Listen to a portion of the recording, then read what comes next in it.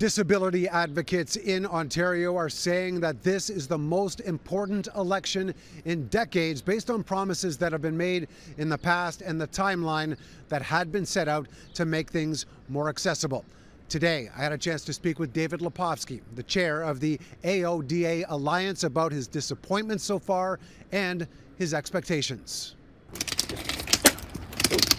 Everybody either has a disability now or gets one later, so we're actually the minority of everyone.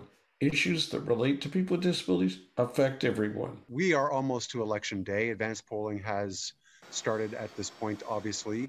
Uh, you're of the mind, though, that there hasn't been enough discussion about uh, disabilities and those affected with disabilities in this province and how things can be bettered for them. Why?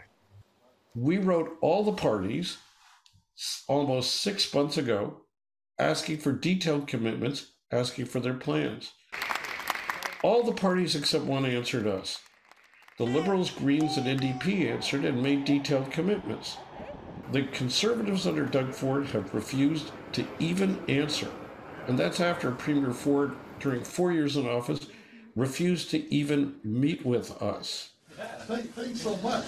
2005 was a big year because in that year, thanks to a decade of our uh, lobbying, the Ontario legislature unanimously passed a law called the Accessibility for Ontarians with Disabilities Act.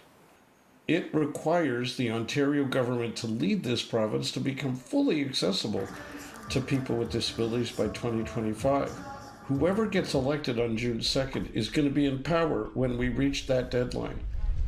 What exactly are you looking for from these parties that they can do in the short term? We've heard party leaders promising, including the premier, promising to build new hospitals, new public transit, new schools. But the government has not committed to ensure that that new construction built with our money will be accessible to people with disabilities. We want the next government to guarantee that they will not use our money to make things worse for us.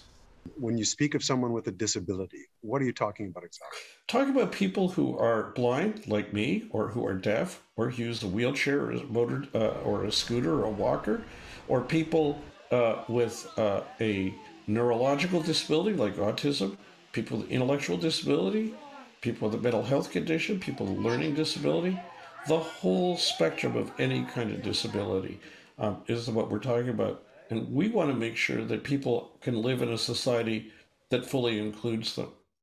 That's what the province unanimously promised to us back in 2005. And we need the next government to have a plan of action, especially because we're so far behind.